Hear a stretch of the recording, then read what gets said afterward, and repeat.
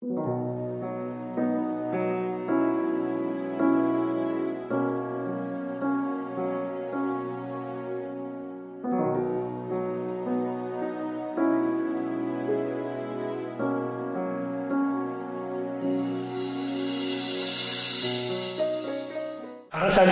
Onguietorri, Danoik, bienvenidas, bienvenidos a este nuevo evento de Raíces de Europa, este comienzo del curso, con la cuarta edición de Ermitaraba.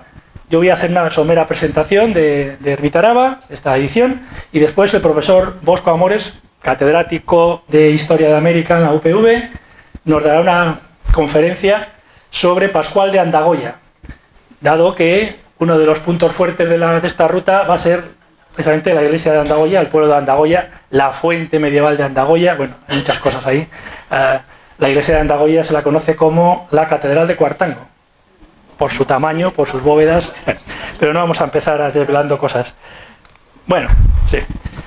Eh, esta es la cuarta edición. Como ya sabéis, hubo una primera edición, Murguía, Murguía Gopegui, el año pasado, por el mes de julio, después Entreviño en el mes de octubre, este año hemos iniciado Cuartango, fue Cuartango Sur, y mm, ante la gran cantidad de monumentos que había entre Cuartango y Urkabustaiz, pues dividimos en dos la ruta. Ahí tenemos el cartel de la primera ruta en amarillo y en azul la segunda ruta, la que vamos a empezar ahora. Ahí la tenemos, las fechas que fueron en el mes de julio y ahora septiembre-octubre. Sábado 24 sábado 1 de octubre, sábado 8 de octubre. Como en ediciones anteriores, estas, estas iglesias, ermitas, monumentos, estarán abiertos de 10 de la mañana a 2 de la tarde, estos tres sábados. Van a ser, en la parte de Cuartango, Tortura, Escolumbe, Catadiano, Anda y Andagoya. Y ya en Urcabustaiz, La Rascueta, Belunza, Gujuli, Ollardo, Uzquiano y Unza. En la edición anterior tuvimos dos visitas guiadas en autobús, el primero y el último de los sábados. En esta ocasión hemos ampliado a los tres sábados, de manera que el que se apunte a las tres podrá ver todos los monumentos con visita guiada. Uno se puede apuntar a una, a las dos o a las tres. Cada día, eh, cada sábado habrá una ruta diferente. Algún monumento incluso vamos a repetirlo, ¿eh? porque vamos a parar en algún sitio dos veces, pero bueno, se van a ver todos, procuraremos ver todo lo que aparece en la guía de monumentos.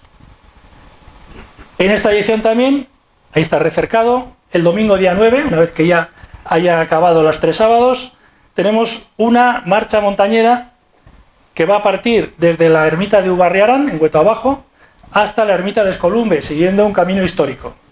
Se va a pasar por la Cruz de Ganalto. Recordáis que hace poco, hace unos meses, la Cruz de Ganalto fue derribada por unos uh, descerebrados, sí, supongo que es la palabra, eh, los, vecinos la rescataron rápidamente, la enderezaron, la volvieron a colocar y ahora luce otra vez estupendamente, como estaba ayer otro día, y hay unas vistas realmente excepcionales.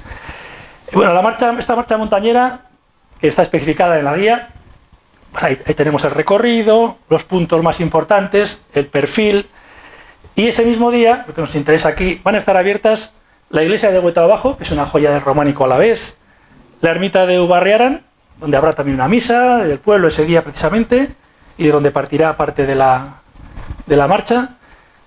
Va a estar abierta también la ermita de Santa Marina, que está a medio camino aproximadamente. Por supuesto es Columbe, es otro de los puntos fuertes de la ruta.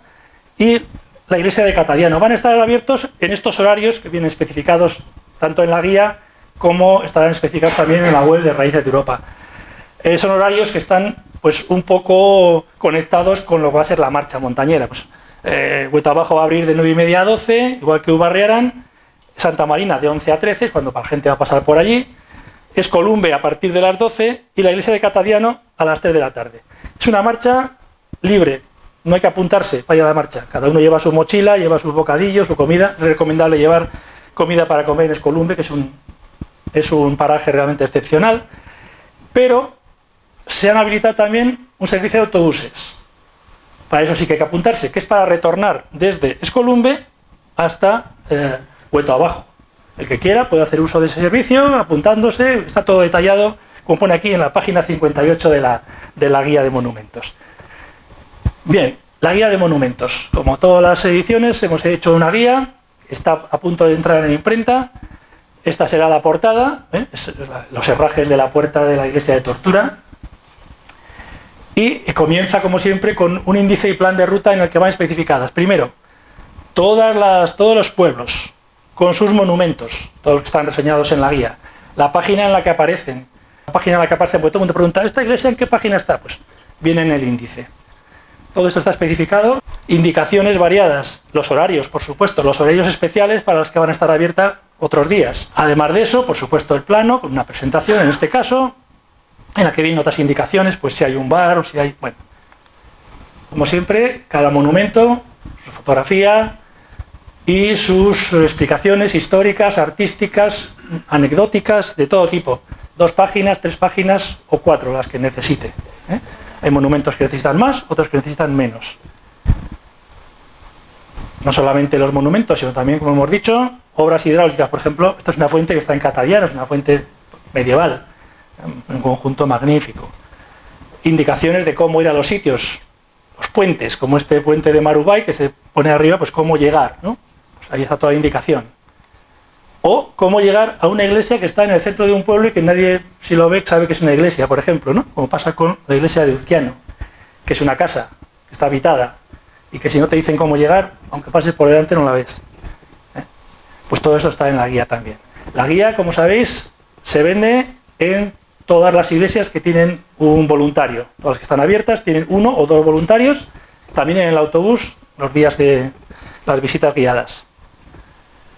Y como siempre también pues nos hemos basado sobre todo para los textos en el catálogo monumental de la diócesis de Vitoria de Micaela Portilla, que este año se cumple el centenario, y Raíces de Europa va a hacer también tres conferencias. ¿eh? El, viernes, el viernes 16, el 23 y el 30 va a haber tres conferencias dedicadas a Micaela Portilla. También nos hemos basado en el inventario de arquitectura rural de Victoriano Fernández Palacios, las 13 volúmenes que son una obra también de referencia.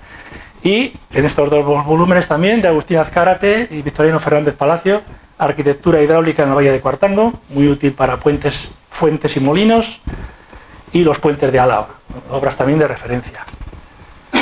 Y antes de acabar, una pequeña, un pequeño vistazo a Tortura. Como sabéis, este año eh, estamos haciendo en Tortura una reproducción de las tablas medievales del retablo. Esto lucía así a principios de siglo, hay un retablo fingido pintado en la pared y debajo todas estas tablas góticas, que son siete tablas. Originalmente parece que eran ocho, pero luego hicieron aquí debajo una puerta y quitaron una tabla. Se conservan siete. Hoy en día, después de muchos años y muchas vicisitudes, después de robos, 20 años en un almacén, por fin se restauraron y lucen así de bien en el Museo de Arte Sacro. Hubo dos conferencias en el mes de julio durante Ermitaraba, delante de las tablas, eh, nos la dieron gente del museo, fueron realmente muy ilustrativas. Así está la iglesia de Tortura ahora, mm, veis que tiene pues muchos restos de humedades, aunque ahora ya tiene muy bien ya los tejados, ya no hay humedades, pero los restos quedan ahí, se conserva el retablo fingido, pero bueno, todo lo demás está hueco y esperamos que quede así. ¿Eh? Estamos trabajando un poco a contrarreloj para que el día 24 ya estén instaladas todas las tablas, las reproducciones, y la reproducción también del San Andrés que está en el centro. Bien, pues eh, esto es lo que tenemos. Iglesia, románico a la vez, renacimiento a la vez, los escolumbres, una maravilla, molinos, puentes, ermitas, como la de Goicoana que tenemos ahí arriba, fuentes medievales, como esta que tenemos aquí abajo, de Andagoya, que es otra maravilla, una, fuente de edículo, o cosas tan curiosas como eso que tenemos ahí abajo, que es una ménsula de una iglesia del siglo XVI, aunque parezca que es del siglo XII. Muy curioso. Así que esta va a ser la cuarta edición de Cuartango y Urkabustaiz. También tenemos, antes de que se me olvide, este, este sello, este es el, sello Ermitaraba, este diseño tan bonito, que parece ser, no sé cómo se va a hacer todavía, va a aparecer en la contraportada de la guía y en cada iglesia va a, haber un sello que se va a ir poniendo hasta que se rellene toda la... va a estar dividido en 10 o 11 o 12 paneles, no sé cuántos, y ahí cualquiera que haga todo, pues tendrá relleno completamente sellado. No sé si le darán un premio o poder optar a algo. Pero bueno, la idea no está mal. O sea que esto va a ser Herbitaraba, cuarta edición, Cuartango y Urcabustay, del 24 de septiembre al 9 de octubre de 2022. Ahí os espero a todos. Muchas gracias.